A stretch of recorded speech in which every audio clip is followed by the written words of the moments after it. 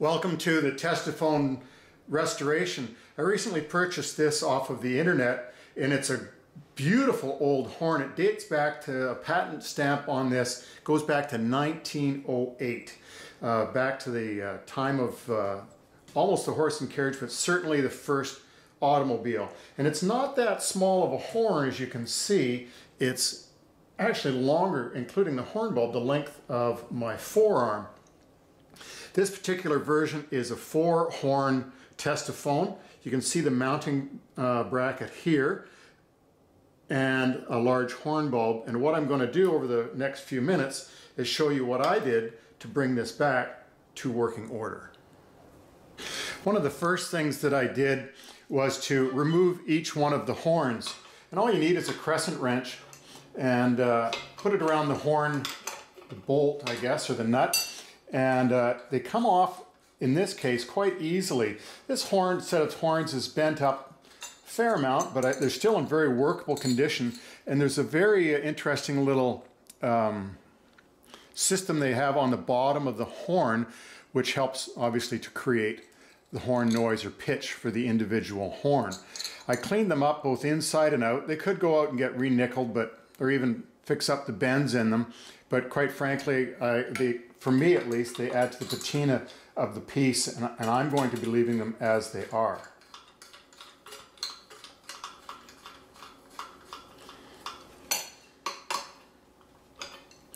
The other thing that I found on this uh, instrument, if you will, is this is almost like a player piano. And if you undo some of these parts,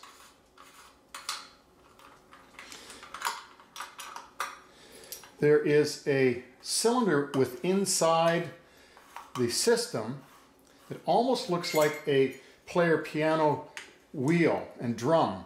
And here you can see there's a very small, if you were to be able to zoom in, there's a very small little finger which keeps light tension on a cog. And as the drum inside rotates, the, the finger holds it, things in place. Now if we take the cog out, or the center drum, as you can see, it's almost like a player piano in many respects. Now when I got this, it wasn't in this type of condition, and what I ended up doing was my best friend was a Dremel. And I spent hours using a polishing compound. I used red, the red polishing compound, and I cleaned the inside cylinder that this um, musical drum fits into.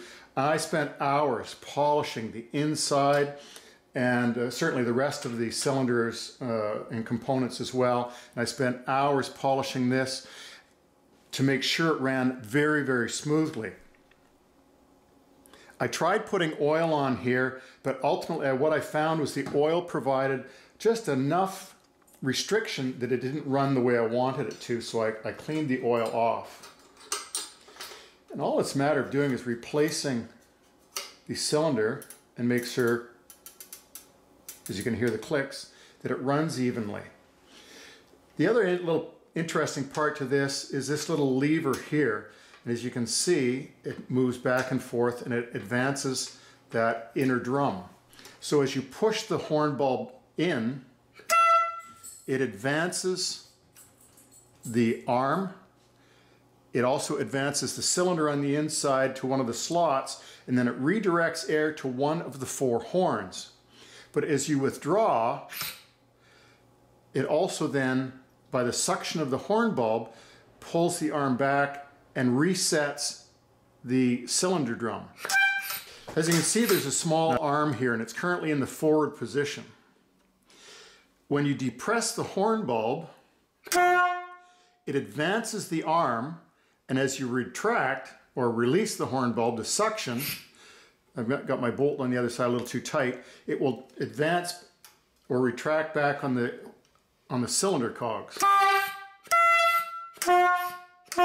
And as it rotates, the cylinder, with, due to the, the slots on the inside, directs air to a different horn.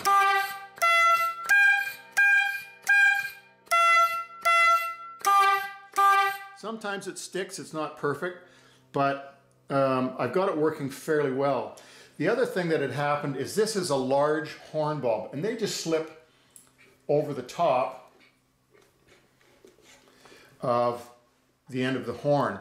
This is a fairly large horn bulb. It's the largest one I could find. I had a medium-sized horn bulb, and what I found while the depression or the squeezing of the horn bulb made the sound of the horn, there was not enough suction to draw back the cylinder to reset it to the next position. The other interesting little component on this uh, horn is there's a little piston that goes on the inside and if you remove a screw from the bottom end here, get my fingers to work properly,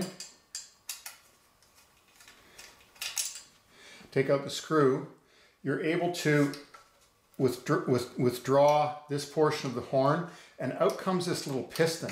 Now when I got the, the, the horn system, there was nothing in this small area, but as you can see, there's some very fine little fingers in there. And what I did was take a piece of rubber and I arced the top and I bent the piece of rubber in so it fits very nicely uh, within those fingers and within the outer diameter uh, of where those fingers reside.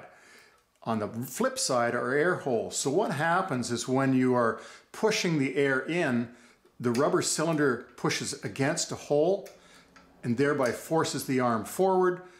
When you release the horn bulb, the suction pulls the rubber stopper out away from the holes and allows things to retract and reset.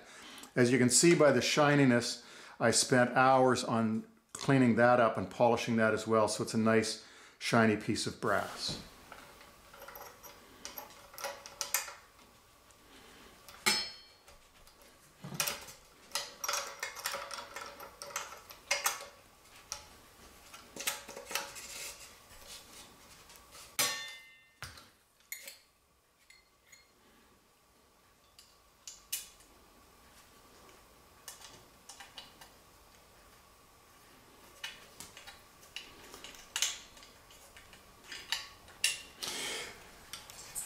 Lastly, I found with this cap that goes on the end around this portion of the horn, it's very fine thread.